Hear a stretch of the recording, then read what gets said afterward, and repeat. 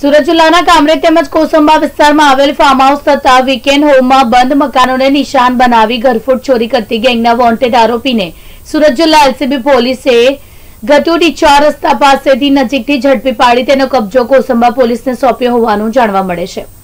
સુરત જિલ્લાના કામરેજ તેમજ કોસંબા વિસ્તારમાં આવેલ ફાર્મ હાઉસ તથા વીકેન્ડ હોમમાં બંધ મકાનને નિશાન બનાવી ચોરી કરનાર શખ્સોને પોલીસે ઝડપી પાડ્યા હતા.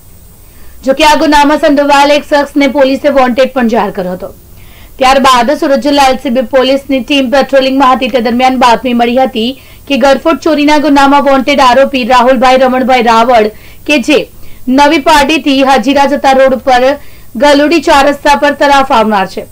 જે હકીકતના આધારે પોલીસે વોચ ગોઠવી અને બાતમીના મુજબ શખ્સ આવતા તેને ઝડપી પાડ્યો હતો. તેને ઉપરોક્ત ગુનાની કબૂલાત કરતા એલસીબી પોલીસે તેનો કબજો કોસંબા પોલીસને સોંપવાની તજવીજ હાથ ધરી છે.